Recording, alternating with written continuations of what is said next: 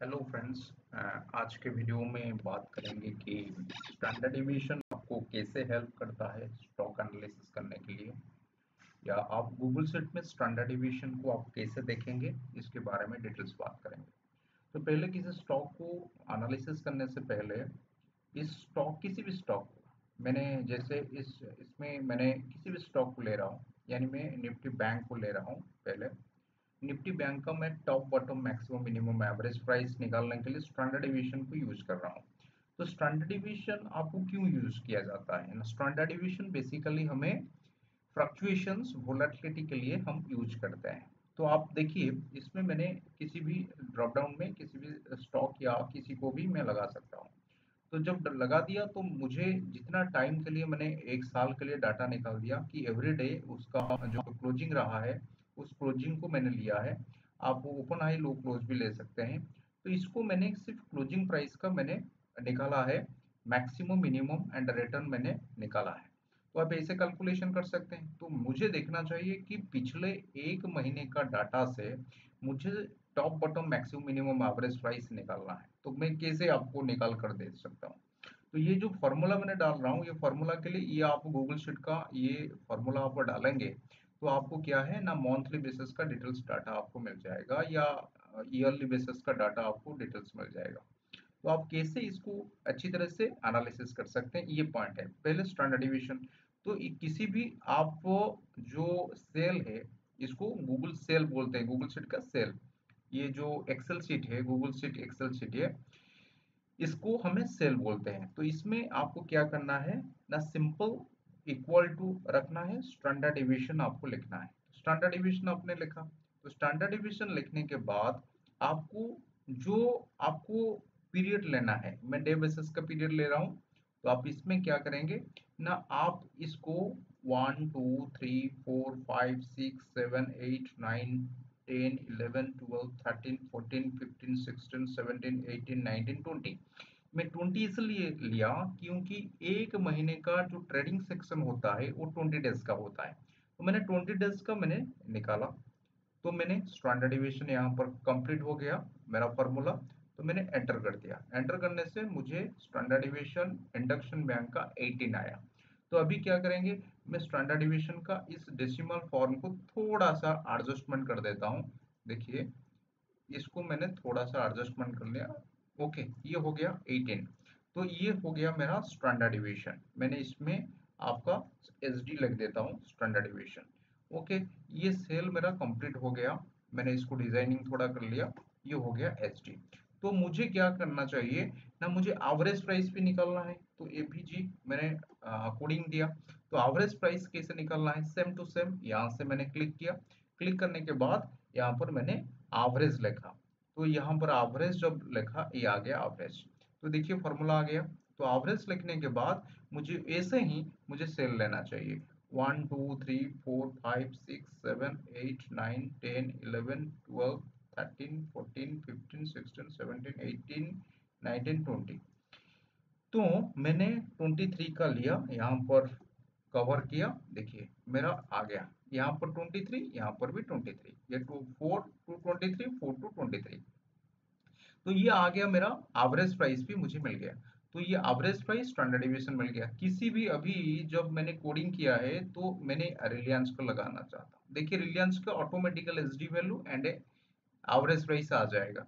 तो आपको दोबारा बनाने के लिए नहीं पड़ेगा। तो आपको एवरेज प्राइस आ गया। मैं इसका टॉप एंड बॉटम मैंने निकालना चाहता हूँ मंथली बेसिस का। तो फ्लक्चुएशन के साथ मैंने कैसे निकालेंगे? तो यहाँ से आपको क्या करना चाहिए? मैंने इसको टॉप पर लिख देता हूँ। टॉप एंड इसको बॉटम लिख देता हूँ। वन मंथ का टॉप एंड बॉटम कितना फ्लक्चुएशन हो सकता है? एक डाटा निकालेंगे। तो हमें क्या करेंगे ना? Average price plus standard division तो आपको आ गया। ये टॉप आ गया। बॉटम आपको मंथली बेसिस का क्या आ गया? Average price minus standard division आ गया। आपको बॉटम का प्राइस भी आ गया।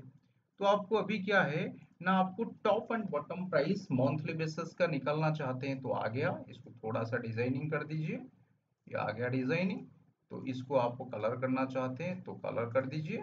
तो आ गया। तो स्टैंडर्ड डिविएशन हो गया एवरेज हो गया टॉप हो गया बॉटम हो गया।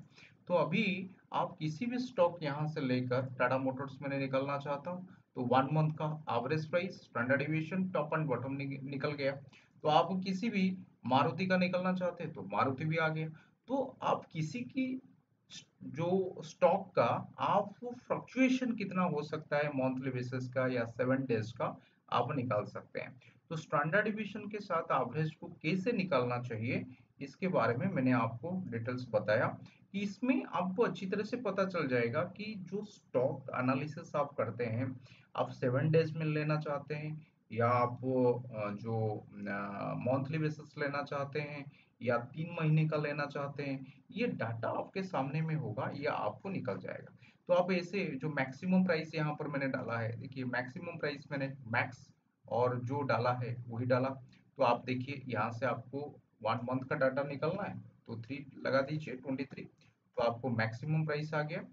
तो आपको ऐसे मिनिमम प्राइस निकालना है तो मिनिमम प्राइस 23 आप लिख दीजिए 20 डेज़ का, जहाँ से सेल का आप आ गया। देखिए maximum price minimum price and return यानी वन मंथ का उन्होंने मारुति का 6.5 परसेंट रिटर्न दिया है। मैक्सिमम टू मिनिमम आप कैलकुलेशन करेंगे। तो आप देखिए, मैंने निफ्टी लगा रहा हूँ। तो निफ्टी का आपको कितना रिटर्न दिया है ना फाइव परसेंट आपको रिटर्न दे चुका है। Eighteen hundred eighteen thousand eight hundred fifty seven और 19,811 ये एक महीने का जो डाटा हमने निकाला है जो maximum price and minimum price जो हमने फाइंड आउट किया है एक महीने का इसमें फाइव परसेंट आपको रिटर्न यानी आपको मूवमेंट देखने के लिए मिला है। इसको हम मूवमेंट बोलेंगे रिटर्न नहीं बोलेंगे मूवमेंट तो हमें मूवमेंट हम लिखेंगे जिसमें हमें मूवमेंट फाइव परसेंट का मूवमेंट हमें देखने के लिए मिला। तो इसका टॉप एंड बॉटम भी हमें मिल गया। तो आप किसी भी स्टॉक आप ले सकते हैं। आप देखिए, मैंने यहाँ पर टाटा मोटर्स मारुति बाजाज ऑटो लगाया। तो बाजाज ऑटो का मूवमेंट कितना था? ना मूवमेंट आपको देखने के लिए मिला। देखिए मूवमेंट तो मूवमेंट 11 परसेंट मूवमेंट आपको परसेंटेज मूवमेंट आपको देखने के लिए मिला। टॉप क्या है? बॉटम क्या है? स्टैंडर्ड डिविएशन कितना है? एवरेज कितना है? तो आप कैलकुलेशन कर सकते हैं। तो मूवमेंट 11 परसेंट का होता है। तो आप उसमें वन मंथ में कितना निकाल सकते हैं, उसके बारे में सोचना चाहिए, क्योंकि मूवमेंट आपको देखना पड़ेगा। तो देखिए, आप बैंक निफ्टी का मूवमेंट आप देखिए बैंक निफ्टी का मूवमेंट कितना है ना फाइव परसेंट के करीब करीब मूवमेंट है। तो आप इसे कैलकुलेशन कर सकते हैं, आपको देखना चाहिए कि जो कैलकुलेशन आप कर रहे हैं, वो कैलकुलेशन कितना सही तरीके से हो रहा है। तो आपको ज़्यादा से ज़्यादा मिनिमम प्राइस निकालना है तो आपको मिनिमम प्राइस कैसे निकालेंगे? तो मिनिमम प्राइस आपको minimum price and maximum price तो मिनिमम एंड मैक्सिमम प्राइस निकालना है तो आप क्या करेंगे? देखिए, इसको मैं मिनिमम एंड मैक्सिमम प्राइस को ट्रांसफ़र कर देता हूँ तो आपको और इजी हो जाएगा देखने के लिए। ओके ये हो गया हो गया डिज़ाइनिंग आपका। ओके ये डिज़ाइनिंग हो गया। अभी मिनिमम प्राइस निकालेंगे। तो ये जो आपका टॉप लेवल है, यहाँ से आप क्या करेंगे?